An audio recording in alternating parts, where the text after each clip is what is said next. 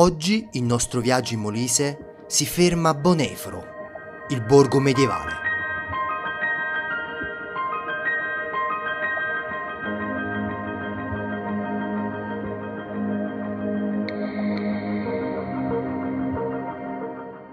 Il borgo di Bonefro è situato a 631 metri sul livello del mare e la sua origine risale al periodo longobardo.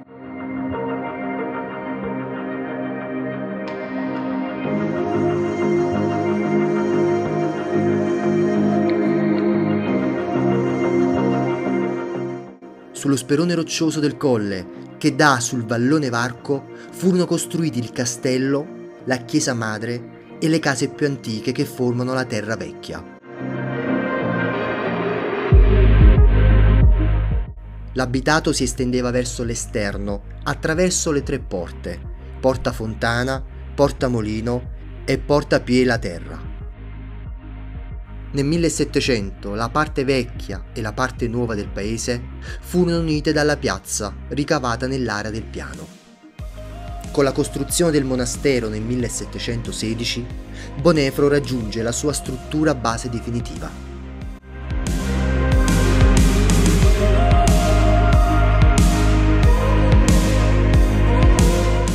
Bonefro deve la sua nascita ad un evento leggendario, al rapimento di tre giovani spose in viaggio di nozze, verso la grotta dell'apparizione, sul Gargano, di San Michele Arcangelo.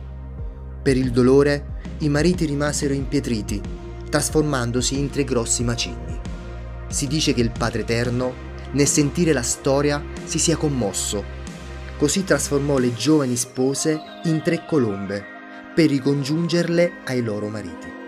L'immaginario collettivo vuole che al tramonto, dalla contrata chiaie donne, ogni sera si alzano in volo per posarsi sui tre macigni e testimoniare, pertanto, un amore coniugale mai venuto meno.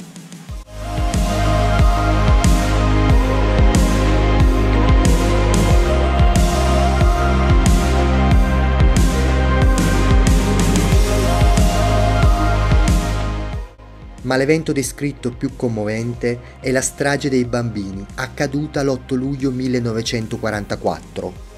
Tra gli 8 e gli 11 anni morirono ben 4 bambini, dopo aver scambiato una bomba per un giocattolo o una scatoletta allettante. È tra le storie senza dubbio più commoventi d'Italia. Il piccolo Mario Ricciardelli morì tra le braccia della madre, che qualche giorno prima aveva sognato che nella chiesetta di San Nicola vi erano tanti lettini bianchi. Il primo era coperto con le sue lenzuola. Il ragazzo due anni prima della strage, aveva avuto la pleurite. Fu curato ad Arco di Trento. Qui, la chiesa che frequentava, dopo la sua partenza venne bombardata. Nel crollo morirono tantissimi suoi compagni. Il destino ha voluto che morisse tra le braccia della mamma.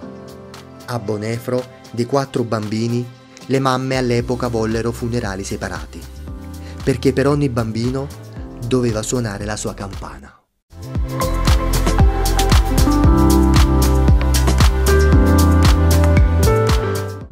Potete seguirci su canale 11 Molise 880 a Roma anche sui profili YouTube e Facebook di Telemolise e tramite Amazon Fire. Siamo in onda anche su Telemolise 2, canale 12 del digitale terrestre, e su Molise Mio, canale 212.